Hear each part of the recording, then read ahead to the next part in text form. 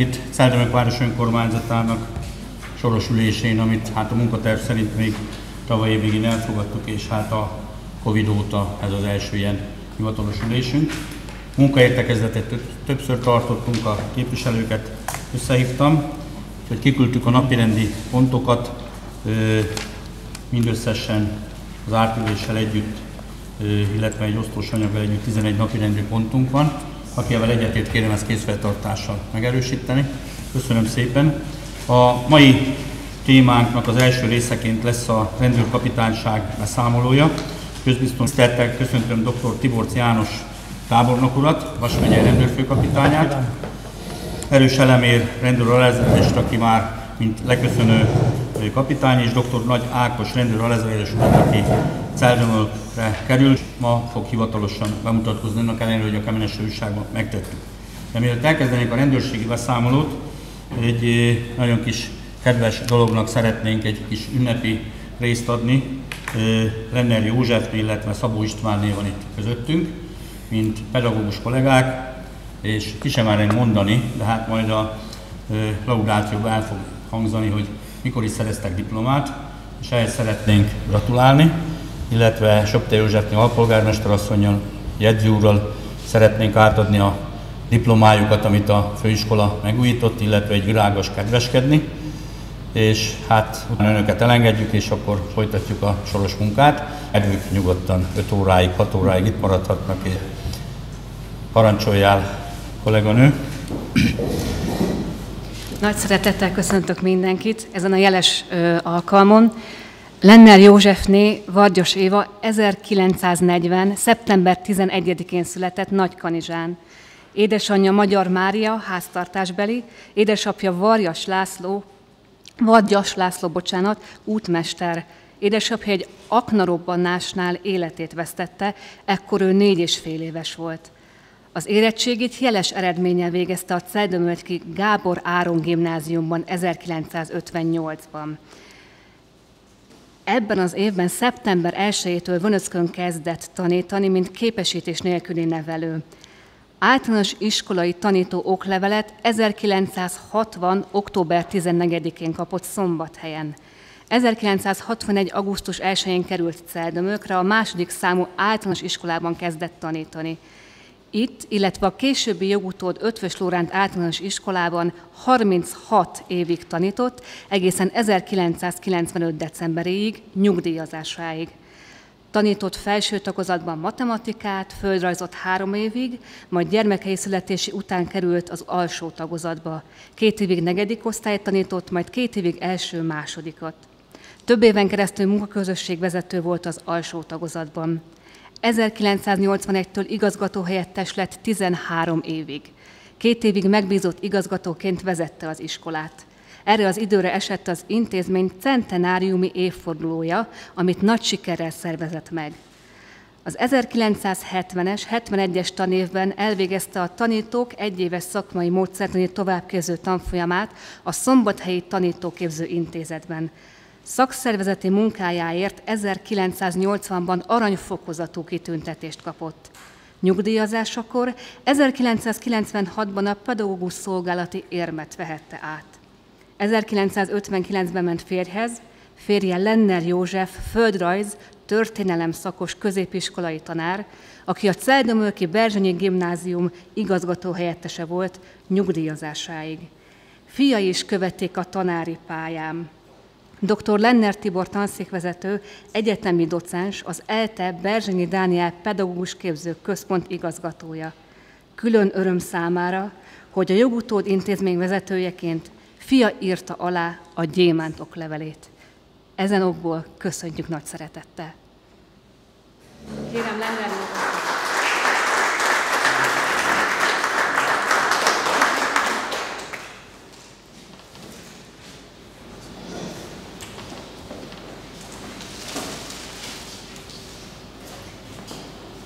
néni igazgató engedje meg, hogy gratuláljuk egészséget. És a Tiborz tábornok úr egyszerre között alá az egyetem nevében a diplomának a másolatát, úgyhogy ez is szerintem nagyon ritka lehet. Persze nagyon érdekes, a gyönyörű, külsőleg is gyönyörű diplomát, ezt az egyetem, aki aláírását, ez pedig a város. És azt még ráadásul a saját fiam saját, az meg egy külön Jegyző is. Köszönöm szépen. Köszönöm szépen. Mi van így a középre? Ha bárna egy készítünk egy fotót, így ön mellé esetleg, akkor Azzal a sok Talán. mindennel. Igen. hát, segítünk. Aztán majd kint szerintem a fiúkkal is, az unokákkal is lesz egy fotó.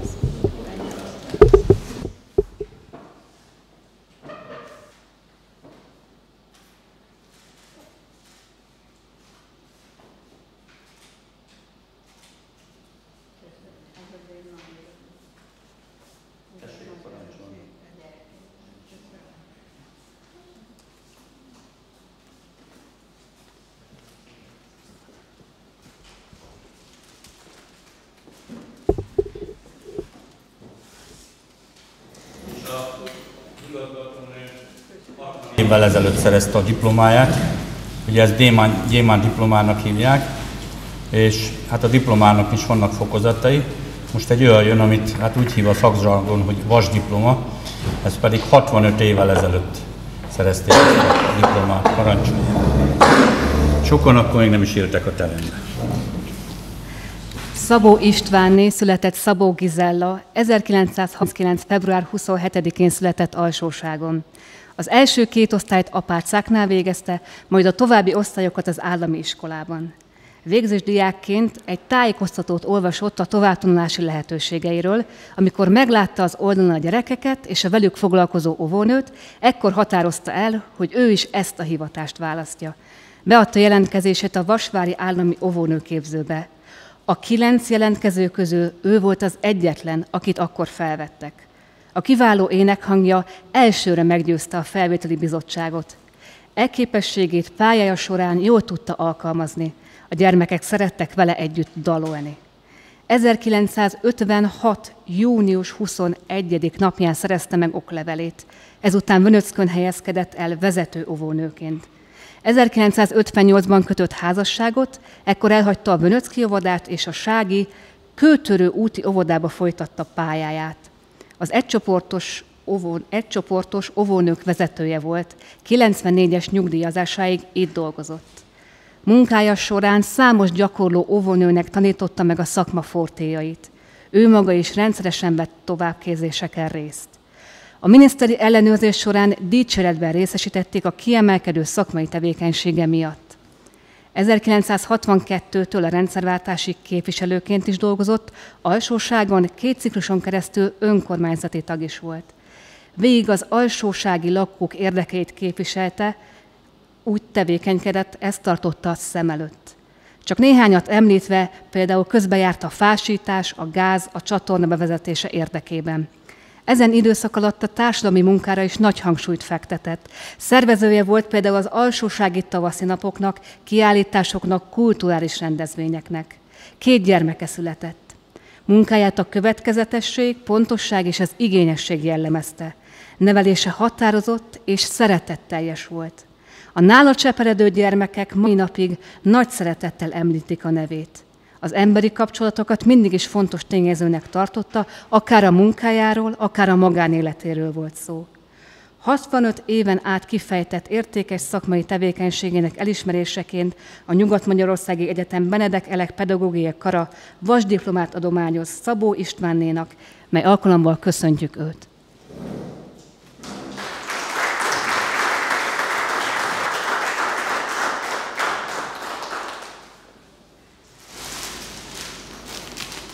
Engedje meg, hogy gratuláljak. Szeretném a 70 éves is köszönteni a házba.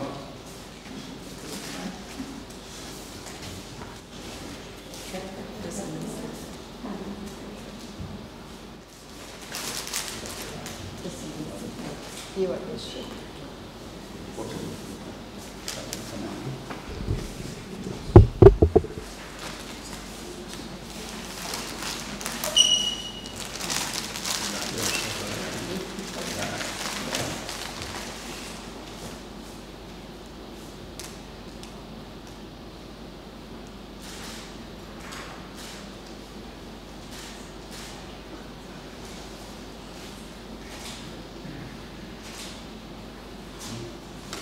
tábornok úr, ha megtetszik engedni a képviselőkkel, a családtagokkal, kéne egy közös fotót csinálnánk, egy 5 perc szünet, és akkor folytatjuk a munkát.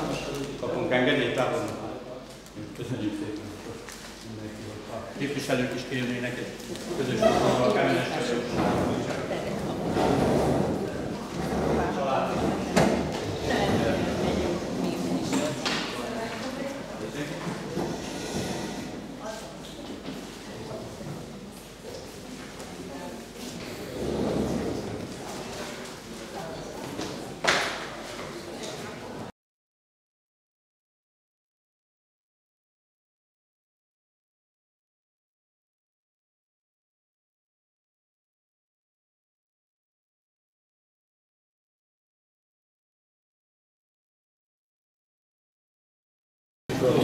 Akkor a képviselőtestületünk folytatja a munkáját.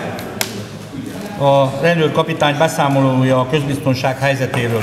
Ugye az élet hozott egy olyan helyzetet, hogy az elején is mondtam, hogy a, az eleméháig itt Szeldemölkön kapitány helyettes volt, osztályvezető, megbízott kapitány, ugye elment nyugdíjba, és az új kapitányt is már a Kemenes újságba bemutattuk, illetve a város lakosságának. Én átadom a szót, úgy beszéltük meg először Tibor János tábornok úrnak, Vas megye főkapitányának, és utána természetesen majd a, az uraknak is, és akkor jó pára jelezték, hogy vannak aktuális problémák a városban. Minden nyáron elő szokott jönni, így mondjam, amikor a fiatalság, hiszen én úgy gondolom, hogy egy ilyen 15-20 év körüli emberek tele vannak mindennel, energiával, adrenalinnal, és hát mégiscsak próbálnánk, hogy a városban azért kialakítani valami rendeket, erről többen jelezték, úgyhogy én is erről majd szeretnék tájékoztatást adni.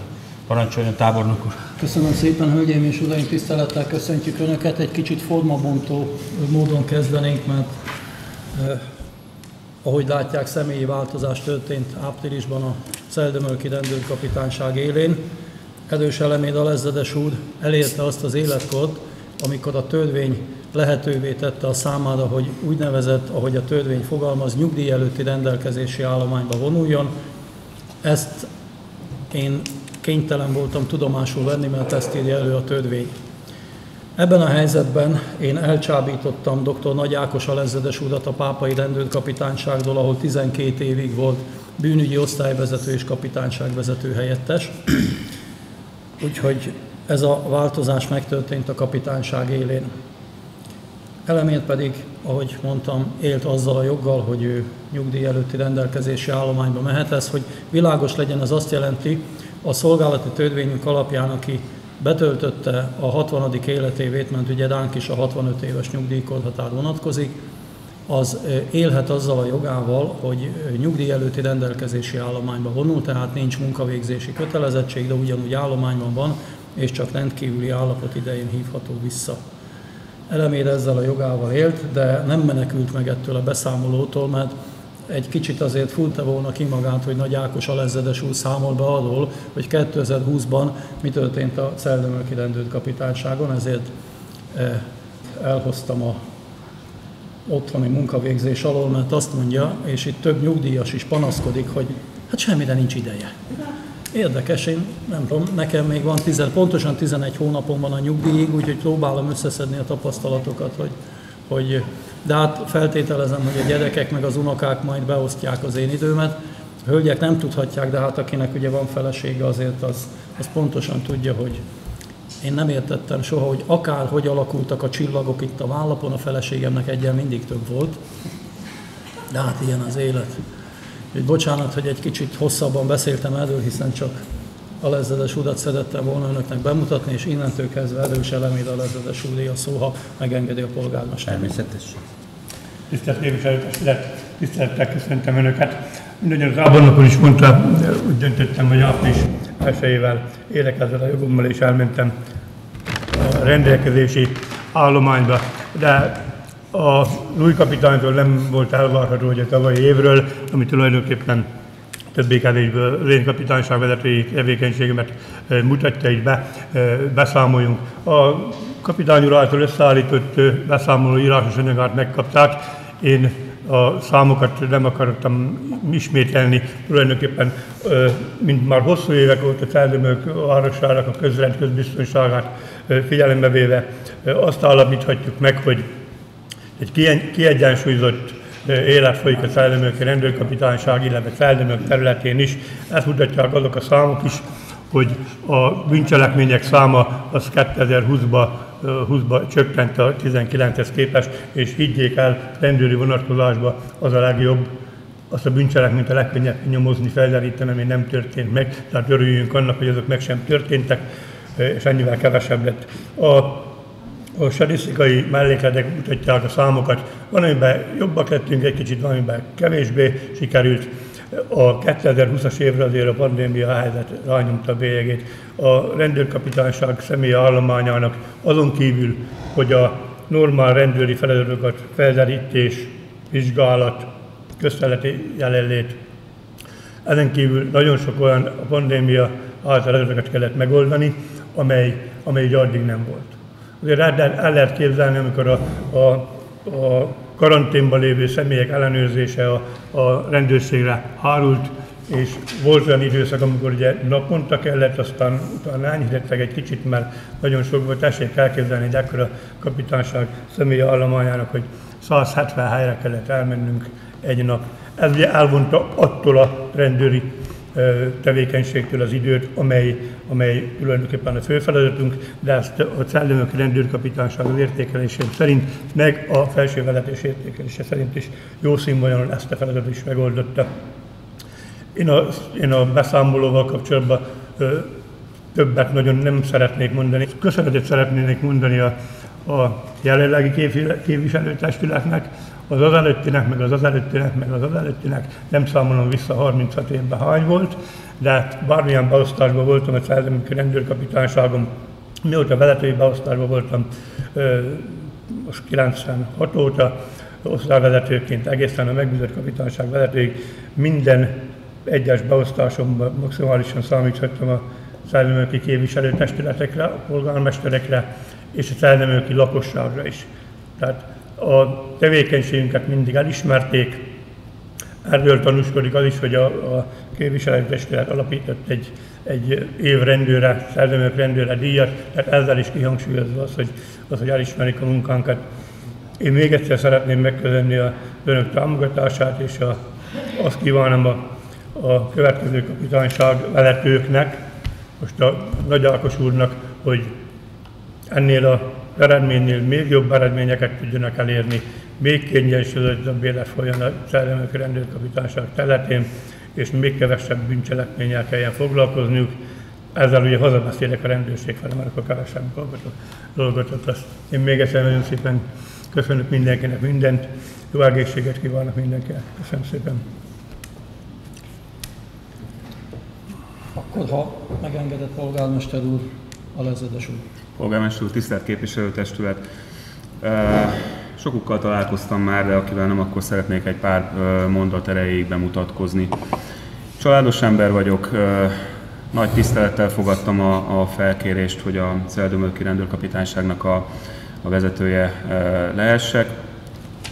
Azt gondolom, hogy ennyi, ez a pár hónap távlatában nagyon jó döntést hoztam, hogy elfogadtam ezt a kihívást, és megpróbálok egyébként majd mindenben megfelelni a, a ennek az új uh, munkakör uh, adta uh, kihívásoknak.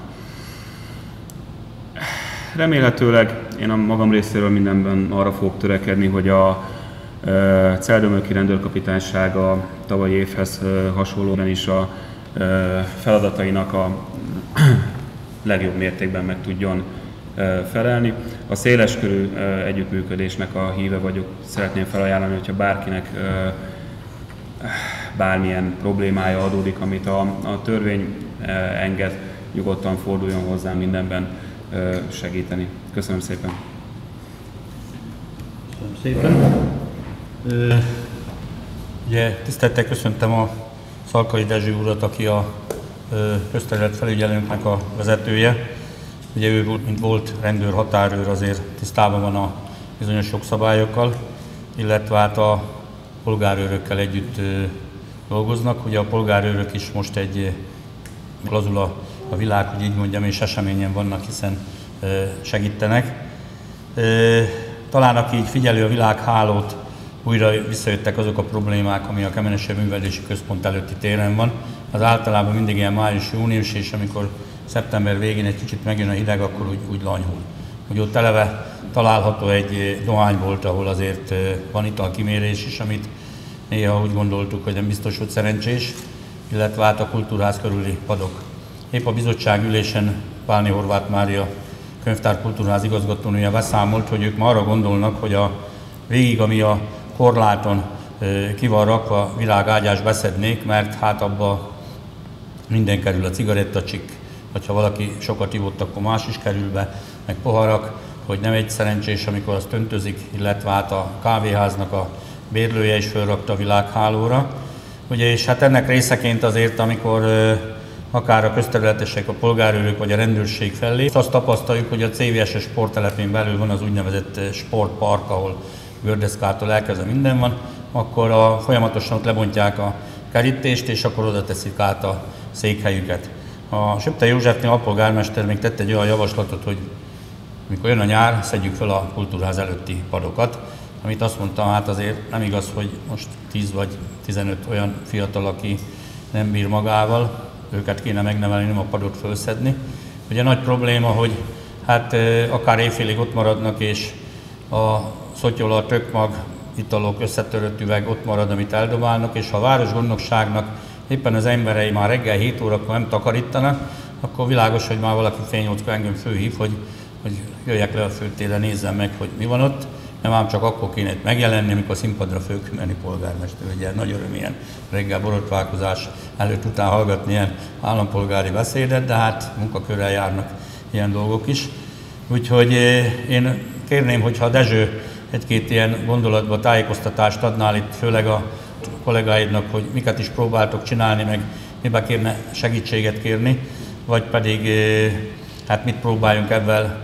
Ugye Celrömök azért az idegenforgalomban, a turizmusban elég jól próbál előre törni, Épp ma is volt ott egy turista csoport köztisztviselő napon, akik megnézték a egy templomot, elmentek a térre, kimentek a Vulkán Múzeumba, és hát sétáltak egyet körbe a, a téren. Biztos, hogy nem szerencsés. Épp a tábornokúra megbeszéltük, hogy más városokban is vannak ilyen élő problémák, hát nem ez egy szellemöki jelenség, de talán jó pár év most már eltellett, hogy nincsen katonaság, biztos, hogy ráfért volna mindenkinek mert eh, épp a tábornok úr is mondta, hogy azok a polgárőrök, közterület felügyelők, akik voltak hivatásos állományban, teljesen máshogy állnak a dolgokhoz, meg ez szerintem vonatkozik az Tehát Ausztriában még mindig van egy éves katonaság, pedig aztán mégiscsak egy ilyen semleges országnak van kikiáltva. Dezső a mikrofonhoz kifáradna, és egy-két gondolatban elmondaná. De aztán Dezső az olyan lelkes volt, hogy engem főhívott, hogy polgármester úr a különleges rendelkezések, ami a jogszabályban van a fiatalkorúkra, katonákra vonatkozó rendelkezések kiosztja, hogy ezt a képviselők elolvassák, ez alapján kérdezzenek. Mondtam, biztos nem fogunk kérdezni, de azért ebben le van írva, hogy egyáltalán mit lehet kezdeni a fiatalkorúkkal, mert ugye az a nagy probléma, hogy egy 18 éven túli szemét könnyebb megbízságolni, itt már csak feljelenteni lehet a szülők, akkor parancsolja a mikrofont, állítsd magadnak, és akkor fáradják ki oda a mikrofonhoz. Jó. Tisztelt polgármester, polgármester helyettes asszony, polgármester helyettes úr, tisztelt képviselőtestület, tisztelt jelenlevők. Következőket látom én minden nap a munkám során, mint reggel, mint a nap egész folyamán és este is. A kint lévő személyek nagyjából, sőt nagy részt elmondhatom, hogy jogkövető maga, ö, magatartást és magaviseletet folytatnak az a mindennapi ö, egyéb kisebb ennye amit, ö, amit elkövetnek, azt minden nap a gyors munkarohanásának köszönhetően, hogy minél előbb hajtsák végre azokat a feladatokat, amiket meg szeretnének oldani a család és a munka érdekébe. Este legtöbb elkövető olyan fiatal, aki 18 év. Ezek a 18 év alatti személyek jogilag nagyon nehezen megfoghatóak.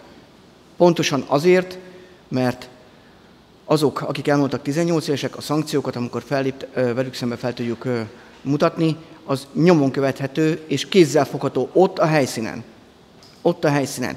A, aki pedig fiatalabb, azt nem tudjuk, mert ugye a törvény ebben is védi őket. Mert a törvény azt akarja, hogy nevel, nevelhetők legyenek a fiatalok, ezek a fiatalok nem pedig megrettentek legyenek a fiatalok. Nem egy elnyomott fiatalság legyen, hanem akik megbotlanak, azoknak újra és újra egy, tudjanak esélyt adni. És ezért van az, hogy, hogy mi csak figyelmeztetéssel és a, az ő nevelés kapcsolatban, hogy ők mit tettek. Ha ez már olyan tartást képvisel, ami tényleg veszélyes a társadalom, akkor tudunk a gyámügyön keresztül és a rendőrségen keresztül fellépni velük kapcsolatba, amennyiben a közös szolgálatok megsősödnek, és a, a, a szankciókat így ezekkel a kivívóan ö, közösségellenesen viselkedő személyekkel, ami egy-két személy, tényleg egy-két személy, a többi az fiatal, rendesen jár iskolába, nem is kokerül, nem, semmi olyasmit nem csinál, ami, ami tényleg veszélyeztetni a társadalmat, csak hát fiatal, itt a nyár,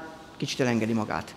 Tehát azokkal a személyek, akik tényleg folyamatosan ezt csinálják, és többieket erre biztosítják, és ebből is jönnek, meg iskolát kerülnek, azokkal szemben közösen fel tudunk lépni, hathatósan, akkor az egész ilyen magaviselkedés csirjába el lesz folytva. Ennyit tudok ebben kapcsolatban mondani, a többit meg csak a, avval tudnám alátámasztani, amit a törvények nekem engednek, mind az 1963-as közteletfelügyelő törvény, mind a szabálysértési törvény 1900, 2012-es törvény második törvénye. Ez a szabálysértésről szól. Ezek, ezekkel kapcsolatban tudok csak ö, ö, intézkedni a fiatalokkal kapcsolatban. Semmi mással és közös szervel. Egyedül nem fogom tudni megcsinálni.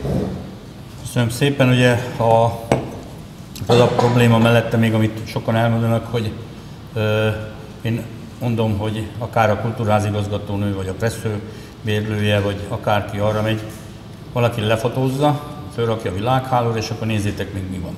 Tehát föl lehetne venni azt a telefont, amire elérhető a Szarkai Dezső is, vagy akár a rendőrséghez beszólni, mert innétől kezdve, hogy akkor az embert fölhívják, mi van állatok celdemökön, fölrakják a világhálóra, hogy éppen milyen probléma van. Hát modern társadalom, modern világhoz egy ilyenfajta ö, dolgokat, és igazából ugye a Dezsővel azért vagyunk meglőve, és azért is gondoltam mondja, mert Hát vannak olyan általános iskolás gyerekek, akik egy-két évet még ráhúztak, bocsánat, hogy így mondom, de általános iskolák, és, de fiatalok, tehát 15-16-17 évesek, és hogy ővelük igazából nehéz dülőre jutni is, ugye a, a szülők felé, vagy mit tudunk csinálni, és igazából a, nem is tudom, hogy ebben most az elemérnek is élő problémája volt, hiszen még a tábornok úr, amikor megegyeztem, a városunk is fizetett be egy olyan összeget, amivel a szabadnapos rendőrökkel együtt volt járőrözés itt nyáron. Aztán utána eljutottunk oda, hogy hiába fizetnénk be, hiszen örülnek, hogy a határelem, a pandémia, az ellátás, tehát alig van szabadnapja a rendőrnek, vagy ha van szabadnapja, amikor már a szabadnapjában is dolgozott, akkor inkább a családdal akarna lenni. Tehát biztos, hogy észre lehet venni, hogy feszített szolgálat van mindenhol, de még hogy a város életében azért nagyon sokat költöttünk a terek rendbetételére, turizmus, idegenforgalomba, hogy ezt a közös értékeket valahogy meg kéne védeni, úgyhogy azért ne javintó nézetbe kerüljenek a fiatalok, ahogy te is mondtad, hanem nevelni őket. Aztán ki vérmérséklete szerint szól nekik, akkor világos, hogy vérmérséklete szerint jön a válasz, hogy öreg vagy, tata vagy, meg mi vagy, meg hogy vagy. Aztán ebben ugye vannak ilyen viták, úgyhogy nem is tudom, hogy Elemér vagy Ákos melyikőtök gondolna, hogy milyen megoldások irányába próbáljunk törekedni. Hát tényleg valamikor régen, még mikor kezdtük ilyen 20 évvel ezelőtt, akkor mindig az volt, hogy a motorok hogy mennek végig a, a városon, meg milyen hangokat adnak. Most ugye a, a, ezeken így túljutott a világ egy kicsit, már azért vannak annyi mérőeszközök most már, hogy ezeket ki lehetett szűrni. Most igazából a önkormányzat hozott egy rendeletet, közterületen nem lehet dohányozni, vagy a hamutartó mellett, közterületen nem lehet alkot fogyasztani. Világos, hogy kiviszik a térre a kólás üveget, beöntik a vörösbort, és akkor megkérdezi tőle, hát itt van, kóstolja meg, mondják. Hogy, hát biztos szesz van benne, és mondja, hát kóstolja meg, most ki, ki merné megkóstolni, tehát ugye nagyon vidámak a fiatalok, meg mosolyognak. Erre szeretnénk valamilyen közös megoldást, mert azért még, még csak most kezdődött a nyár, most lett vége az iskolán. Hölgyeim és uraim, egy ilyen öreg embernek, mint én vagyok, már nagyon sok véleménye pedagógusokat, szerintem nyugodtan foglalja helyet, pedagógusokat köszöntöttek. Az egyik ilyen sarkos véleményem az, hogy úgy hat éves korig a gyereknél nagyon sok minden eldőlt. Most arról beszélünk, hogy a közterületfelügyelet, rendőrség, intézmények mit tudnak tenni ebben a helyzetben. Az én olvasatomban először a családban kellett volna valamit tenni, hogy ezek a gyerekek ne jussanak el idáig. Valószínűleg apám, ha egy ilyen korban élné, megkérdezte volna tőlem, fiam, éjfél van. Hol a bánatban voltál ennyi ideig?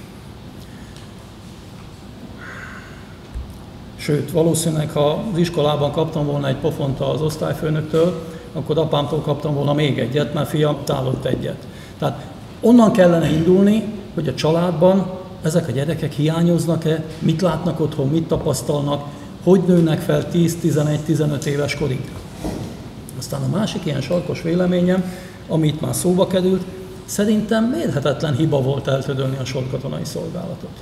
Én tudom, hogy a, a fiús anyák engem ezért megköveznének, de most is azt mondom, hogy egy hat hónapos sorkatonai szolgálat az bizony jót tett volna minden fiatal embernek. És való, nagy valószínűséggel ezeket a gyerekeket most már nevelni ezekkel az intézkedésekkel nagy valószínűséggel már ez egy veszett fejszenyele, de nyilván nekünk ebben van kötelességünk, hogy mi az, amit tudunk tenni.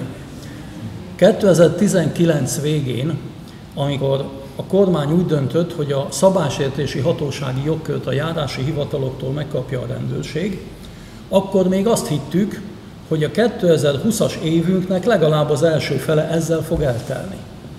Ezt tévedtünk.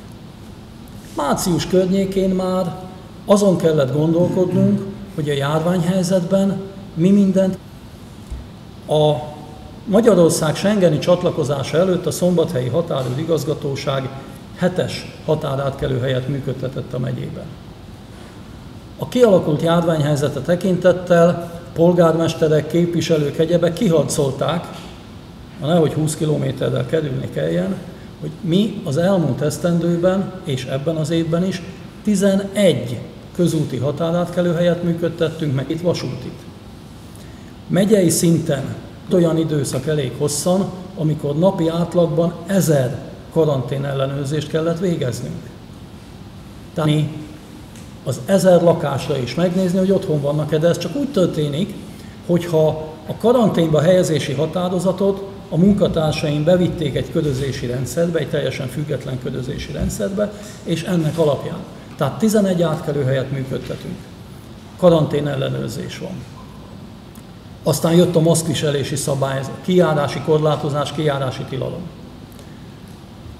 Nem lehetett megtenni azt, hogy a három határmenti rendőrkapitányságra nyomunk rá minden ilyen feladatot, ezért természetesen a három nem határmenti rendőrkapitányságról, Sárváról is, Celdemöltről is mentek, tehát akik Szombathelyről, Kőszegről, meg Körmendől a határon voltak, őket a közterületen valahol pótolni kellett, tehát próbáltuk arányosan elosztani. Ebből az következett, hogy nyilván önök valószínűleg jóval kevesebb rendőrrel találkoztak a közterületen, mint ahogy megszokták. És valószínűleg ezek a gyerekek is kevesebb rendőrrel találkoztak, mert azért azt úgy fogadjuk el, hogy Szeldömölk szintjén talán a rendőröknek van némi respektjük, és ha szólnak, akkor ez. De, de alapvetően csodát nyilván nem fogunk tenni. Most, hogy felszabadulunk, de hát ugye emlékezzünk vissza, tavaly is úgy volt, hogy a nyár egy kicsit lazább lett, aztán jött az ősz, és én megmondom maguknak őszintén, nem vagyok nagyon optimista ebben a helyzetben, tehát én attól tartok, hogy azért ennek a járványnak még korán sincs vége. Hiszen olyan helyzetbe kerültünk, amelyben még az ilyen vén emberek sem voltak még soha. Hiszen a spanyol nátha az valamikor a múlt század 20-as, 30-as éveiben volt, tehát senkinek nincs ebben tapasztalata. Olyan dolgokat kellett nekünk naponta elvégeznünk, amelyekre egyszerűen nem volt tapasztalat. Magunknak kellett kitalálni. Most képzeljék el azt a helyzetet, hogy szinte naponta jelentek meg kormányrendeletek a veszélyhelyzettel kapcsolatban. Nálam meg naponta szinte tucatjával jelentek meg a kérdések, hogy én most Ausztriába járok gondozni öregeket. Hogy mehetek ki, hogy jöhetek vissza karanténba, kerülök, nem kerülök karanténba. Naponta 3-4 ezer ent vissza Ausztriából. Naponta 4-500 kamion lépett be Vas megyébe a határátkelő helyeken. A legnagyobb veszélynek a határátkelő helyen dolgozó munkatársaink voltak. Nem volt pénzkérdés, hogy maszk, gumikesztyű, ö, mi ez a folyadék? Köszönöm szépen. Feltőtlenít. Tehát nem sajnáltuk rá a pénzt, mert nem egyszerűen. De ez azt jelentette, a kapitányság állományát kellett mozgatni, akár a határa is. Mert 8, május 1 -e? Tehát nem, bocsánat, 2008. december 21-én csatlakozott Magyarország a Schengeni rendszerhez. A Vas megyében élők megszokták, hogy út mennek át Ausztriába vagy Szlovéniába, mint ahogy akár Pápára, vagy, vagy bárhova máshova. És ez egyszer csak megszűnt. Nem lehet úgy menni. Az osztrákok is zártak. Visszafelé mi is ellenőriztünk. Tehát óhatatlan, hogy a közterületről hiányoztak munkatársaink. Hiába kaptunk megerősítést a honvédségtől. Ugye Celdömölki kapitányság is kapott katonai megerősítést. Jött a készenléti rendőrség. Tavaly tavasszal még a Nemzeti Közszolgálati Egyetemről is jöttek végzős egyetemi hallgatók, akik főleg a határátkelő helyeken dolgoztak, hiszen nyelvtudással egyebben rendelkeztek. De óhatatlan, hogy a három nem határmenti rendőrkapitányság sem húzhatta ki magát ebből a feladatból. Most a nyári időszakban, ugye most meg a másik probléma, hogy a szabadságokat ki kell adni. Ez alatt a feszített munkatempó alatt nem mindenki tudott mindig szabadságra menni. És legalább nyáron azt nem tehetjük meg, hogy nem engedjük el az embereket szabadságra. Nagyon komoly pénzeket fizettünk ki túlszolgálatra is, mert egyszerűen idézőjelben, nagyon idézőjelben úgymond ki kellett zsigerelni az állományt. Tehát itt nem volt az, hogy most normál munkarend szerint működünk, mert lehet, hogy ma megszületett egy kormányrendelet, amely 22 órakor hatályba lépett, mert ilyen is volt, vagy 23 órakor, és szolgálatot át kellett alakítani. De nyilván meg fogjuk találni azt a megoldást, hogy gyakrabban legyünk jelen. Ugye itt Alezedes úrnak már volt egy ötlete, amelyet kivitelezett a gyalogátkelő helyekkel kapcsolatban, valószínűleg a közterület felügyelettel és nyilván a polgárőrség bevonásával, mert egyébként a polgárőrség nekünk rengeteget tud segíteni. És bízunk abban, hogy talán valahogy ősszel nem lesz ennyire feszített ez a helyzet, és megkezdődik az a kilábalás, amely, amely ilyen átoltottság mellett talán. De hát ugye olvasom, hogy van ez a delta variáns, amely nem biztos, hogy minden oltás jó ez ellen. Nem tudom, ezek orvos szakmai kérdések. Én csak köszönettel tartozom a Vas megyei rendőrfőkapitányság és helyi szervei minden rendő és rangú munkatársának, hogy ezt az időszakot így át tudtuk vészelni. Tavasszal nagyon nagy szerencsénk volt, egyetlen munkatársunk sem betegedett meg. A jelenlegi állapot szerint az állományunknak 19%-a átesett a vírusfertőzésen, és egy 52 éves munkatársunk nem élte túl a betegséget. Köszönettel tartozom természetesen a megye lakosságának is, mert eleinte ugyan nem volt egyszerű tudomásul venni, hogy a határon hogyan lehet átmenni, hogyan lehet közlekedni, vagy maszkot kell viselni a közterületen. Ugye most valamelyik sajtóorgánon megért, hogy 75 ezer forintra megbüntettünk valakit, mert nem viselt maszkot. Nyilván nem véletlen, hogy valaki ilyen büntetést kapott. Nagyon nagy munkát végeztek a munkatársaim ebben az időben, és én a megye lakosságának is köszönettel tartozom, ezért meg Celdőmök város lakosságának is, hogy azért az emberek túlnyomó többsége tudomásul vette, hogy a veszélyhelyzetben milyen szabályok vannak. Maszkot kell viselni, üzletbe nem lehet bemenni úgy tucatjával, ahogy eddig tették. Ha bemennek, akkor legyen rajtuk maszk, legyen ott mindenhol a készfertőtlenítő. És ha szóltunk, akkor ugye az emberek általában tudomásul vették. Ja, hát elfelejtettem meg. Hát.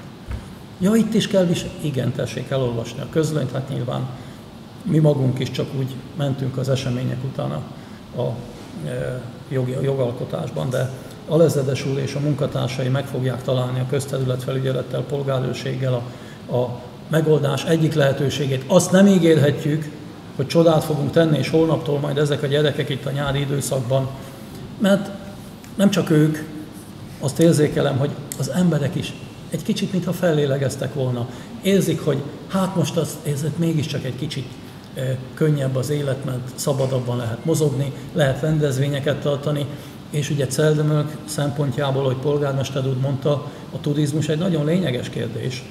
Ha más nem nézek, csak azt, hogy például, ugye, ha jól tudom, akkor futballcsapatok rendszeresen jöttek a, a nyári alapozást és a felké, hiszen minden feltétel adott hozzá. Tehát nem közömbös a városnak az sem, hogy a, a turizmus milyen, és valóban, hogyha a világhálón látnak egy ilyen képet, hogy Szeldömök főterén ez van, akkor nem biztos, hogy oda érdemes menni. Tehát ebben nyilván közösen valamit tenni kell, de továbbra is az a véleményem első a család, utána a pedagógusoknak is van némi szerepe, de mindent rendészeti eszközökkel, úgymond ultimadációval, hogy majd akkor a szülők fizetik ki a bírságot, meg előbb-utóbb megvárjuk, hogy nagyobb lesz, és akkor megbírságolhatjuk, netán szabásértési elzárást is ki lehet szabni. Csodát ettől azért ne várjunk, de nyilván amit a magunk részéről meg lehet tenni, azt igyekszünk megtenni. Köszönöm, hogy meghallgattak. Köszönöm szépen. Akkor a... Te meg is adtad a választ a Igen. kollégáit helyett. Ah, bocsánat, hogy így mondom, akkor ebben közös munkát majd fogunk keresni. Azt szeretném megkérdezni, hogy kinek lenne kérdése, véleménye. Parancsolják képviselő asszony. Hát igen, minden nyáron előjön ez a főtéri szemét, piszkoskodás. Én egyszer próbáltam rájuk szólni, hát minden voltam, csak szép nem, úgyhogy úgy kellett társom fordálnom onnét, pedig én is fölneveltem három gyereket, meg osztottam is nekik elég gyakran a pofonokat, több kevezek sikerrel, de sajnos ebben nem, nem tudunk mit kezdeni. Aztán, ami métlen körforgalmunkban este, hogy itt micsoda csikorgatás van, azt nem tudom, azt, azt hogy lehet megszüntetni, vagy büntetni lehet őket, vagy mit lehet velük csinálni. Tíz óra után természetesen. Köszönöm.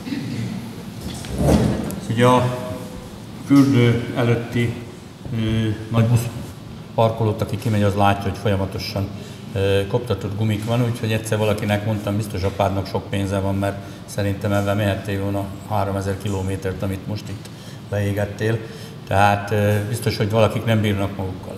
Téma volt bizottságülésen, és erről beszéltünk a kapitányúrral is, hogy most a, a várost úton járnak Pápa felől. Ugye erről a jegyző úr majd le fog nekünk számolni, hogy milyen lépéseket tettünk, illetve hova szeretnénk még úgy fölrakni, annak ellenére, hogy a költségvetésben szerintem minden önkormányzatnak megvan a, a helye a pénzének, hogy kamerákat szeretnénk fölrakni, mert az elmúlt hetekben jó pár helyen volt úgy betörés a városba, hogy az a feltételezés, hogy jó pár helyről megvan a kamera, de igazából, ha valaki pápa felől jön be, és a vasúti átrájónál jön be a városba, tehát nem jön el a híd alatt, majd onnét elmennek, elkövetnek valamit, utána akkor egyszerre. Úgyhogy ebbe kérném a jegyző urat, hogy elmondaná, hogy hova szerelnénk ki, hogyan dolgozunk össze a rendőrsége, hogyan figyelik meg, melyik rész. Ezt azért akarom, hogy mert hát, ha valaki valakinek elmondja, hogy azért ide is raktak fő kamerát. Temetőben is ugyanígy voltak problémáink, oda is raktak kül a polgárőrök kamerát a sirokhoz, meg is lettek azok, akik valakiktől mindig viszik. Úgyhogy én úgy gondolom, egy kisebb körrel van bajunk. Azon kívül itt a városban hogy talán megneveljük, de most tényleg pápa irányából megjelentek olyan zsiványok, akik viszont ö, üzemanyagot lopnak, föltörnek autókat, és ugye ez egy ilyen nagyobb probléma, úgyhogy Edz úrnak átadnám a szót, hogy elmondaná, hogy milyen lépéseket tettünk, meg hova szerelünk fel még pluszba kamerákat.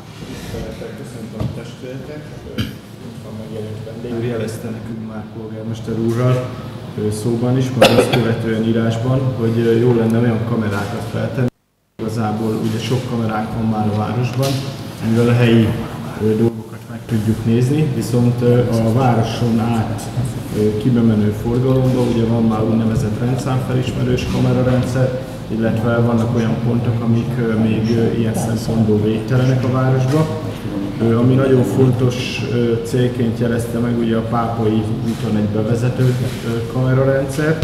Itt tudni kell, hogy van egy olyan térfigyelő kamera, ami jobban lát, tehát ott jobban meg lehet állapítani a, a személyes dolgokat, esetleg egy kereszteződésbe, illetve lenne olyan lehetőség, hogy rendszámfelismerő kamerarendszer, ami kamera figyeli a kibejövő rendszámokat, és szoftver segítségével le is tudja követni, hogy esetleg aki bejött, az ott visszamente, vagy hol hagyta el a várost, hogyha erre a rendőrségnek a nyomozás során szüksége van. Igazából öt olyan pont van, amit itt néztünk, hogy célszerű lenne ezt fejleszteni. Itt a Pápai úton, a bevezető szakaszon, az Ostvittéren van egy kameránk, ami a Sárvár irányából jövőket, illetve a, a templom melletti ugye a Pápai útra fordulókat tudja figyelni, azt ki tudnánk egészíteni egy kamerával. Sági úton ott a Penni környékén nincs kamera, ott is van olyan több olyan kereszteződés, amit érdemes lenne megfigyelni.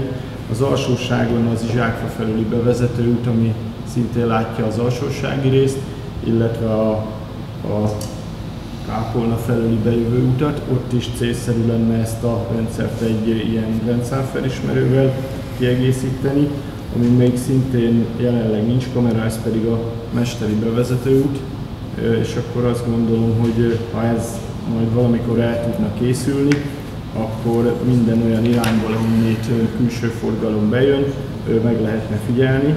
Hát erre kértünk ajánlatot, ilyen indikatív módon egyelőre, a bizottságülés is foglalkozott már vele. Ez 3 millió 800 ezer forint plusz száfa összeg lenne ennek a teljesnek a megvalósítása. Azt gondolom, hogy testületnek majd valami forrást kellene biztosítani, és is az egészen lépésenként Mm, szükséges lenne itt előre haladni. Úgy gondolom, hogy a tábornok úr megadta a választ, hogy közös munkával össze fogunk dolgozni itt a fiatalokkal. A jegyző úr pedig, amit elmondott, ez körülbelül egy 5-6 millió forintot kéne erre költenünk. Ugye folyamatosan kapjuk a leveleket, az e-mailek, hogy hol van kátyú, mit kéne kijavítani. Jövő héten, aki megnyerte a közbeszerzésbe a kátyúzással elindul, volt három hetes csúszásuk, de jövő héten meg fogják csinálni a város területén, a kamerák irányába is el fogunk indulni. Ennek egy hátránya lesz, hogy igazából utat, járda, javítás, ezt abból a pénzből fogjuk majd elvenni, hogy meglegyenek azok a kamera rendszerek mégiscsak a város életében, mert az egész város lakosságának a biztonságérzetét ebben szeretnénk fokozni. Meg szeretném kérdezni, hogy kinek van kérdése, észrevétele. Sebestyén Krisztián képviselő, parancsolj, frakcióvezető. Én is mindenkit. Visszatérve itt a 2020-as számolóra, én is szeretném megköszönni a rendőrségnek a munkáját, a frakció és a magam nevébe is. Itt, hogyha megnézzük a statisztikai adatokat, akkor ugye javuló tendenciát láthatunk. És ugye itt a pandémia helyzet miatt áprilisban nem sikerült, de most Erős Elemér úrnak hosszú boldog nyugdíjas éveket kívánok. Nagy Ákos alezredes úrnak pedig erőt és kitartást a munkához a jövőben. Köszönjük szépen! További kérdések, a jelentkezést nem látok. Akkor a ö, tavaly már, ugye augusztus 20-án itt a téren, hiszen volt a pandémia, akkor tudtuk, hogy az elemér lehet, hogy el fog menni nyugdíjba. Köszöntött a képviselőtestület tábornok úrtól nem is régen megkaptam a levelet, majd augusztus 20-án megtudják, hogy ki lesz az évrendőre, akit ide elküldött. Úgyhogy a képviselő testet nevében egy olyan órát átadni az elemért, ez elemér lassabban fog menni az idő. Neked, illetve egy, egy bort, és hát akkor utána, előtte azért még azt szeretném megkérdezni, hogy a rendőrségi tájékoztatót, beszámolót, aki elfogadja, az készfeltartással erősítse meg. Egyöntető a képviselőtestületben, Kovács doktor úr jelezte, hogy ő olt, utána pedig ügyel, úgyhogy a másik képviselőtársunk, a dia pedig a Balaton rendesi táborba, mindig néha azt mondom, hogy úttörő tábor, táborunkban ö, diákokat vitt, és ö, ott van vele, úgyhogy ő meg elkéretőzött, hogy ne kelljen már hazajönni, mert ott is kell vigyázni a gyerekekre egy ilyenfajta időszakban. Úgyhogy és a tábornok urat megkérdeztem, hogy a, az elemérnek átadjuk a ö, kis ajándékot, hogy lehet egy közös fotó, azért is kértem meg a fotósokat, hogy maradjanak itt, és azt mondta, hogy hát természetesen, úgyhogy én el fogom rendelni a szünetet, mi fogunk menni egy közös fotót a képviselőkkel, illetve a, az alázaredés urakkal, tábornokokkal, és akkor utána folytatjuk. Egy trabba, akkor az átülésig azt ígérem, le fogunk menni egy olyan 5 óra fél hatig. Köszönöm szépen addig is a figyelmet. Ellenére akkor ezt meg.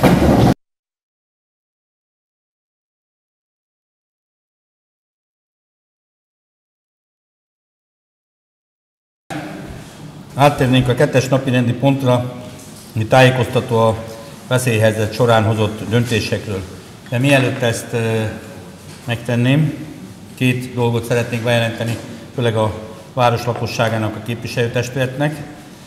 Szemmelweis napon az egészségügyi szolgálat részéről Söptei Valéria tegnap vett át egy kitüntetést Szombathelyen, őnek ebben szeretnék gratulálni.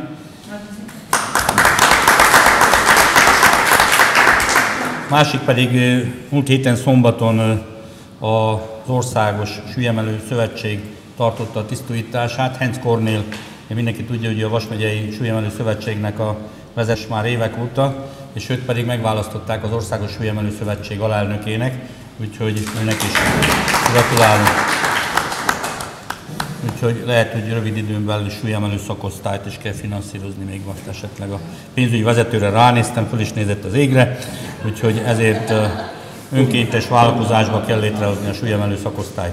Komolyra fordítva a szót, a tájékoztató a veszélyhelyzet során hozott döntésekről, hát mindenki tudja, hogy a képviselőtestetek működését fölfüggesztette a kormány, hogy ebben a helyzetben próbáltam arra törekedni, hogy bizonyos nagyobb dolgokban született munkaértekezletre, mellette működött egy operatív bizottság, mi úgy hívtuk, amiben az erős elemérés, azt elfelejtettem neki megköszönni, ő is részt vehetett ezen olyan formában, hogy sajtóban a képen nem jelenhetett meg, úgy egyeztünk meg, de ő is a, részt vett ezekben a munkákban.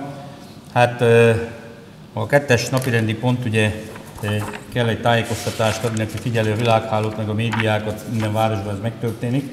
Ebben az időszakban összesen 135 határozat, illetve 21 olyan rendelet született, amit polgármesteri hatáskörbe hirdettem.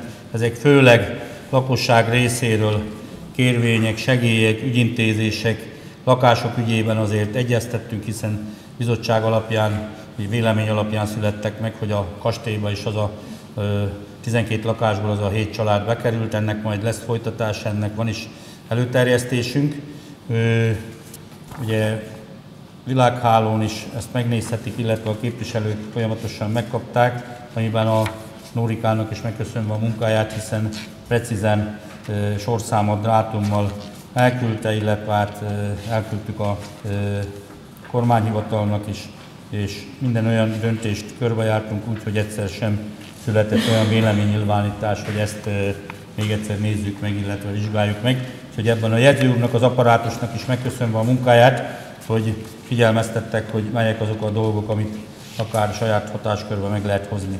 A képviselőasszony, ugye előbb említettem, hogy esetleg ha kéri, felolvassa mi a, az egészet, vagy minden le van írva, úgyhogy ezt Marit Sándornét kérdezem, hogy e, nem tartanak erre igényt, és mivel nem kéri, akkor ezt a 38 oldalt nem fogom felolvasni.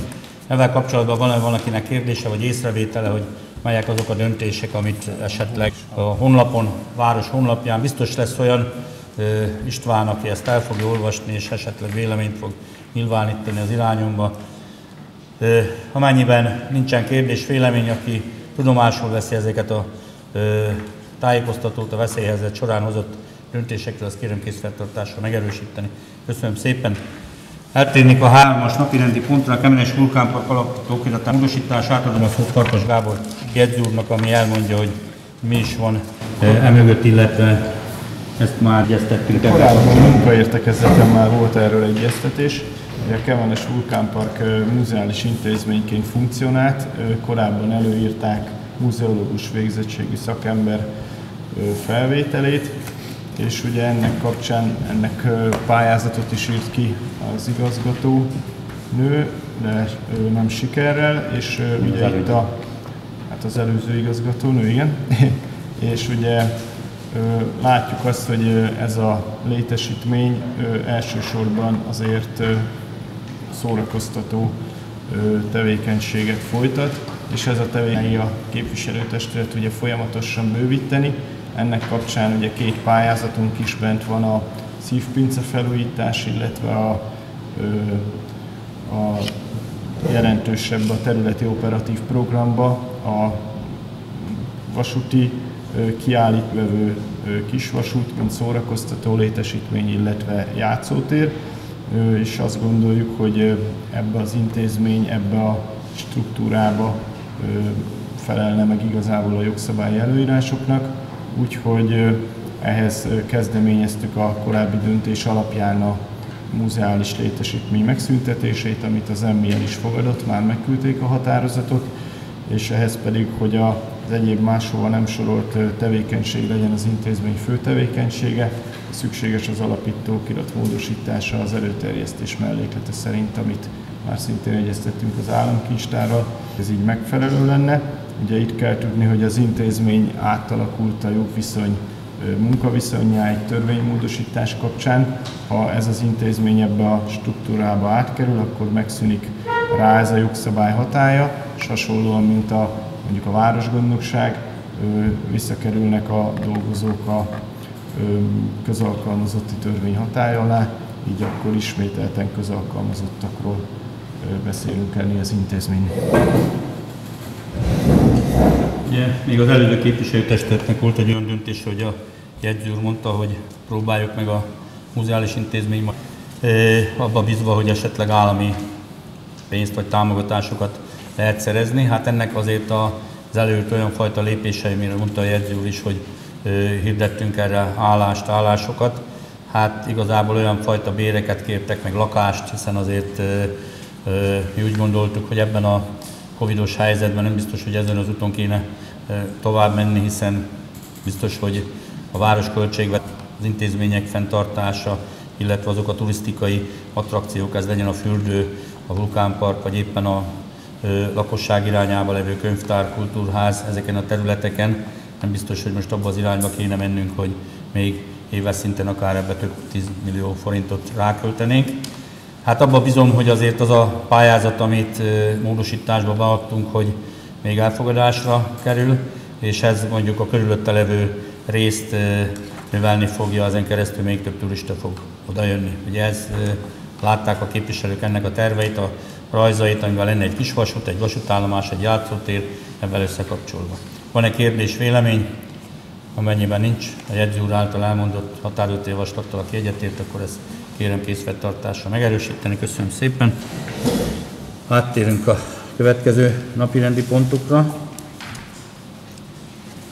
Az autóbusszal végzett menetrend szerinti személyszállítás közszolgáltatás. Szintén átadom a jegyző úrnak a szót, hogy a, főleg itt a lakosság irányába tegye meg azt a fajta tájékoztatást, illetve milyen feladat, illetve döntés vár a képviselőtestületeit az elkövetkezendő hetekben, hónapokban, pályázatkiírás, illetve januártól milyen formában szeretnénk, de van egy negyedik negyedév, amiben viszont mi szeretnénk ugyanúgy ebben a formában működjön a tömegközlekedés, a helyi árat a városban, zsákfalsóság, a fürdő, illetve a vasútállomás között. Jegyző úr. A képviselőtestület 5 évvel ezelőtt írt ki pályázatot a helyi tömegközlekedésre. Ugye egy egyvonalas járatról van szó, ami a vasútállomástól a Sákegyen keresztül Izsákfán megfordulva tér vissza. Ez egy körülbelül 20 kilométeres szakasz megy le. A pandémia ide alatt ugye folyamatosan változott a menetrend, hol kevesebb járattal a lakosság igényeit, hát nem száz százalékban az igényeit, de azért a, a főbb igényeket figyelembe véve kialakult ez a jelenlegi napjában 9 járatot jelent ezen a szakaszon, és igazából ez a szerződés szeptember 30-án lejár a vállalkozóval, kezdeményeztük, hogy tudná ezt folytatni, hiszen ezt egy pályázat alapján újra kiírni, de már előzetesen tájékozottunk akár a vállalkozónál, akár a volánnál, hogy ezt a jelenlegi formában, tehát úgy, hogy az önkormányzat ehhez nem biztosít, nem fogja tudni vállalni. Vállalkozó is mondott egy járat, a volán is mondott egy járat, ami lényegesen többennél, de ezek ugye csak indikatív ajánlatok. Tehát a polgármester úr úgy döntött, hogy ebbe a témába kikéri a testület véleményét, hiszen ez egy olyan kiadást fog jelenteni az önkormányzatnak, ami eddig még nem jelent meg. Tehát el kell dönteni, hogy járatszám csökkenést, meglévő járatszám, vagy esetleg több járattal írjuk ki a pályázatot, de ennek akkor ugye súlyos anyagi következményei lennek. Ehhez az, erre azonban időre van szükség, és erre a negyed évre kérjük azt, hogy a testület fogadja el, hogy a jelenlegi formában meghosszabbodna a szerződés a jelenlegi, ami egy bruttó 4,4 millió forintos kiadást jelent az utolsó három hónapra, majd ezt követően, vagy hát nem ezt követően, hanem amikor ez lejár, hogy addigra tudjon le egy beszerzési eljárás, Eztre szeretnénk kérni egy felhatalmazást, és hogyha ennek az anyaga összeáll, ami egyrészt ugye szakmai dolog, hogy mit kell beletenni, de másrészt mindenképpen ugye a képviselőtestület felelőssége, hogy milyen járatszámmal, esetleg növelve, csökkentve, milyen jegyrendszerrel tudja azt felvállalni, hogy az esetleges kiadásokat a jövő évi költségvetésbe hogy tudjuk tervezni. Köszönöm. Lassúságon a részönkormányzat foglalkozott vele, hiszen a képviselő testületben négy olyan képviselő van, aki alsóságon lakik, illetve él. Az ő véleményük arról az volt, hogy tehát, hogy tájékoztatásban elmondtam, volt olyan időszak az önkormányzatnak, amikor 18 millió forint értékben vásárolt bérletet a tanulóifjúság részére, és hogy ebbe az állami kiegészítéssel lett ez működtetve. A pandémia az hozta magával azt is, hogy otthon voltak, onnét tanultak, nem használták a tömegközlekedést, nem vettek bérletet. Ugye ennek része is, hogy itt a negyedik negyed évben közel van egy 4,4 millió forint ügyön. Ugye a határozott javaslatot, ha megnézik a képviselőtársak, ugye az első része, amit a jegyző elmondott, a pénzügyi rész, rész viszont a jegyzőt, polgármestert jelen felkérni, és ebbe az lesz a képviselőknek, úgy terveztük, hogy legközelebb augusztus végén vagy szeptember elején találkoznánk sorosülésen, rendkívül lenne. Itt viszont előfordulhat, hogy amikor összeáll az a fajta feltétel, hogy mondjuk egy pályázat kiírás, akkor egy munkaértekezletre azért a képviselőtestületet ezt lehet, hogy jövő hónap össze fogjuk hívni. Abból kifolyólag, hogy valamikor volt 14 járat Celdemonok zsákfalsóság között, akkor volt, amikor ez lement 12-re, most ugye itt a pandémiában ez 9-re. És ez a 9 levő számtan hozza magával ezt a negyedik, negyed évre, hogy 4,4 millió forintos bruttó támogatás kellene.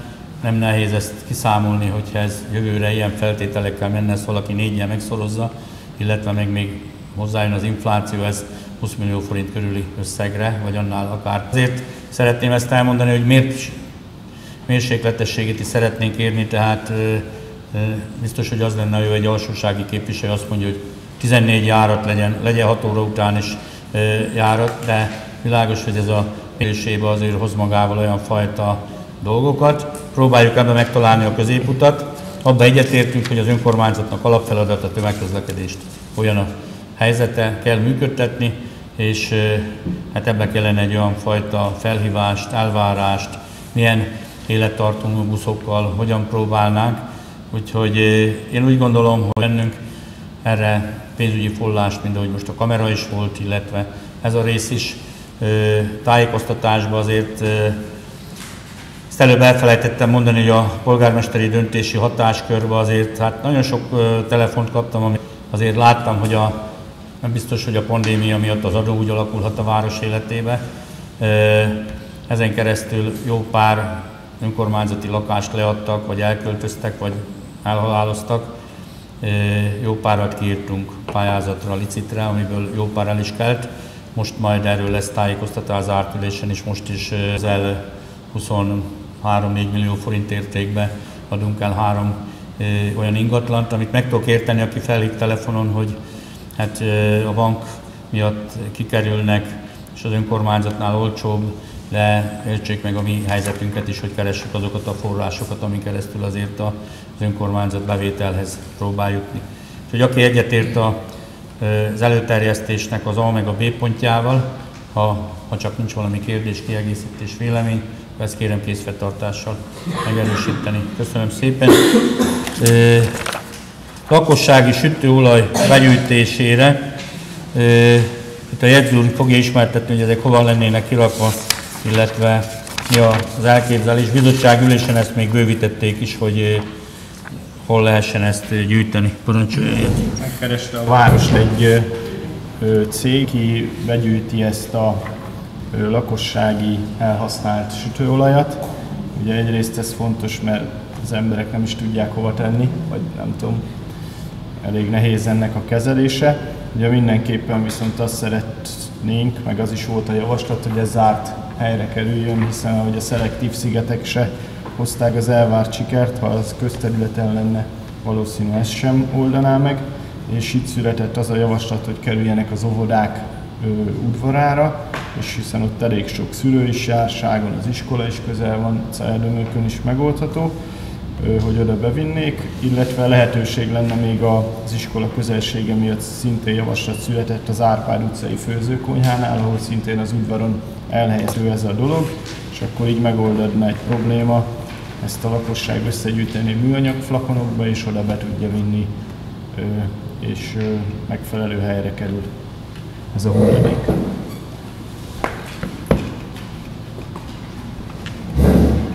Értsük vele egyet szerintem. A egyetértelő támogatjuk.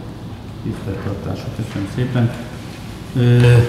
Következő napi rendi pont saját hatáskörömben nem akartam hozni ilyen döntést, megvártam, még működik a képviselőtestület, átadom az alpolgármester asszonynak a ülésvezetését.